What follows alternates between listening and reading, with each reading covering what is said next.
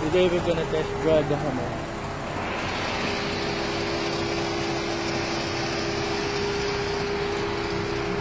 And Goose, who's my driver? Wow. Wow. Let's Lovely interior.